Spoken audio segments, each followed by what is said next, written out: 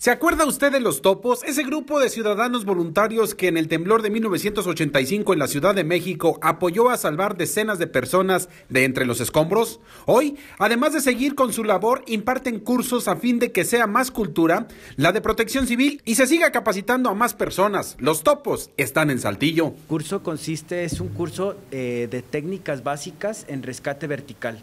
¿sí?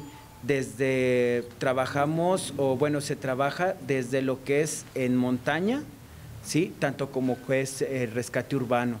Hay lugares o hay ciertas zonas donde no se pueden accesar vehículos donde no se pueden accesar a eh, quizás algún otro tipo de, de maquinaria no para hacer un rescate. Y la idea de esto es el conocimiento de cómo poder manejar una situación de este tipo por medio de líneas, por medio de cuerdas. Es una sola locación, es en el hotel la, es la torre, ¿verdad? Eso, en el hotel La Torre ahí nos hicieron el favor de, prestarnos el, el, inmueble y ahí se presta muy bien.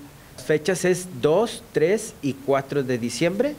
El costo es 1.500 pesos por persona, pero eh, y te incluye lo que es tu, tu, tu certificado, tu constancia, te incluye tu playera, te incluye todos los alimentos, te incluye el lugar para, para acampados.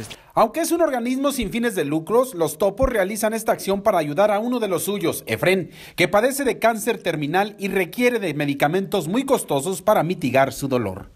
Con la imagen de Marco Gamis, para RCG informó Enrique Hurtado.